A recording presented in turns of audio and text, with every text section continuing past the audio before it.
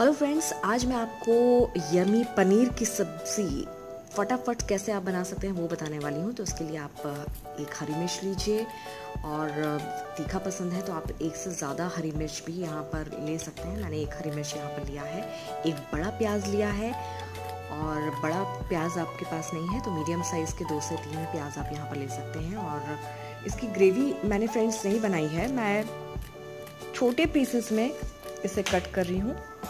और उसे एक अलग ही टेक्सचर आता है।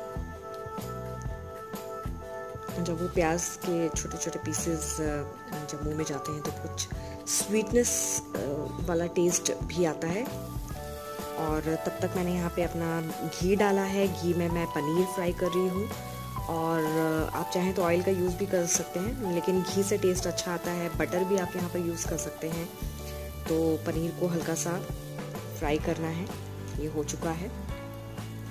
अब हम इसे निकाल लेंगे और जो इसमें घी बचेगा फ्रेंड्स उसी में हम अपना जो मसाला है, वो इसको फ्राई करेंगे। तो उसमें हमने आधा चम्मच जीरा लिया है, दो लौंग ली है, दो से तीन इलायची ली है, दालचीनी लिया है, बड़ा लौंग लिया है, तेज पत्ता लिया है। ये ऑलमोस्ट अब हो चुका है, क्योंकि घी आपका गर्म ही था तो अब इसमें हरी मिर्च डालेंगे, जो प्याज कटे हुए थे वो प्याज इसमें डाल देंगे और बहुत ज़्यादा आपको प्याज फ्राई नहीं करना है।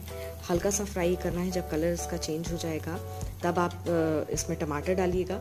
मैंने दो टमाटर यहाँ पर लिए हैं। दो से तीन टमाटर आप यहाँ पर यूज़ कर सकते हैं। टमाटर को भी मैंने प्यूरी नहीं बनाया है, इसको कट करके मैंने यहाँ पर डाला है।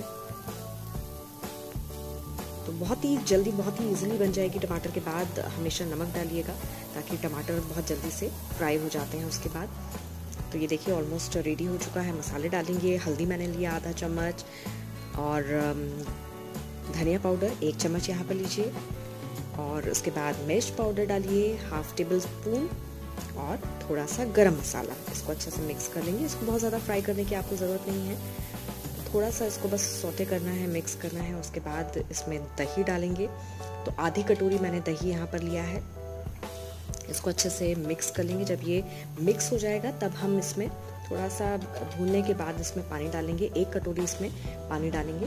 ये देखिए, हो चुका है, ये रेडी अब इसमें पानी डालेंगे। अब इसको अच्छे से मिक्स कर लेंगे। बॉईल आ चुका है इसमें। आप पनीर डाल देंगे। पनीर डालने के बाद थोड़ा सा इसको बॉईल करेंगे। और बहुत ज़्यादा आपको बॉईल नहीं करना है और देखिए आपकी सब्ज़ी रेडी हो गई है।